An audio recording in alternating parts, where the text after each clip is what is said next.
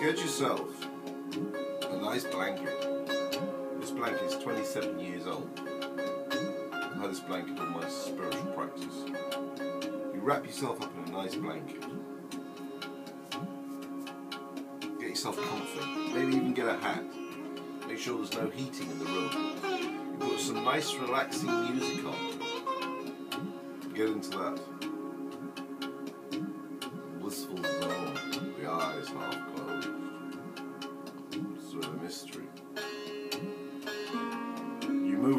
Blanket to bliss to God and an absolute bliss.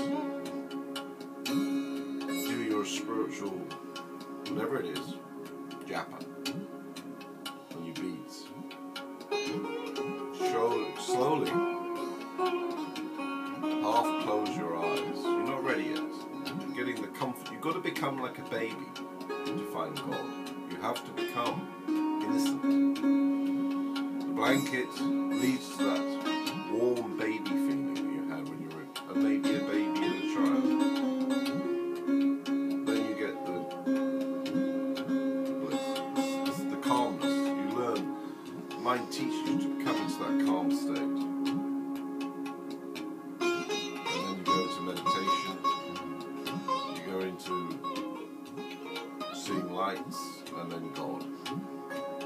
This is how it works. This is the process.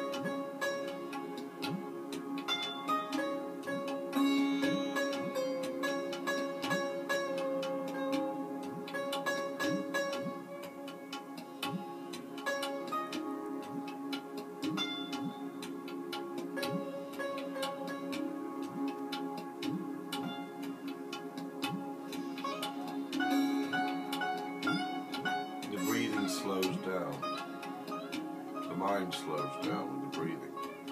A mantra. Seeing lights. Seeing lights. Shut my eyes. And then I'm gone. There is no body in this uh, formless void. There's only bliss. God. There's no body. There's no thoughts, there's no mind, it's beyond mind. Completely formless. Neg- the Indians call it Nirguna. Japanese call it Zazen, Satori state. And then beyond that, Nirvana. There is no mind, no thoughts. It's pure, transcendental Godhead.